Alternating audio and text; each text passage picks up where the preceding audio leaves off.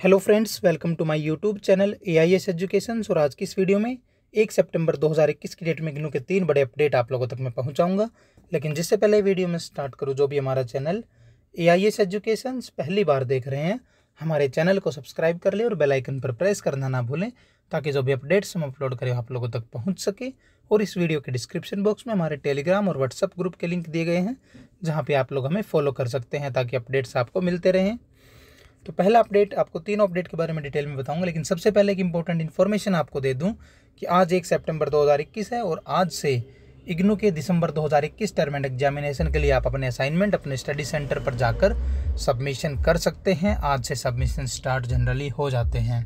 तो एक normal update ये थी। अब हम बात करते हैं जो नए अपडेट है, उनके बारे में। पहला अपडेट है virtual talk on India completed 75 years of independence governance challenges and leadership by Shri Rajiv Gaba cabinet secretary government of India on third September two two thousand twenty one at three P M मतलब India के पिछहत्तर साल पूरा होने पर एक discussion है पूरा।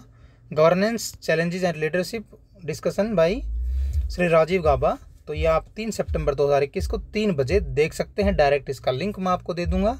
और दूसरे अपडेट की बात करें तो एक अपडेट असाइनमेंट सबमिशन का हो चुका है और तीसरा अपडेट है, वो ये है कि इग्नू की, जैसे कि आप सभी को पता है कि जुलाई 2021 एडमिशन और री रजिस्ट्रेशन के लिए लास्ट डेट इकतीस अगस्त 2021 निर्धारित थी, लेकिन अभी तक आप देख सकते हैं फॉर्म क्लोज नहीं हुआ। जैसे आप click here for new registration करते हैं तो लास्ट डेट ओवर नहीं दिखा रहा है, अभी भी रजिस्ट्रेशन ऑन है तो अभी भी आप अपना एडमिशन प्रोसीड कर सकते हैं और उम्मीद है कि इसमें एक बार फिर से एक्सटेंशन आएगा और री रजिस्ट्रेशन में भी सेम चांसेज हैं। तो ये थे आज की के अपडेट फर्दर जैसी कोई नया अपडेट या नोटिफिकेशन आएगा, मैं वीडियो के द्वारा आपको अपडेट दूँगा।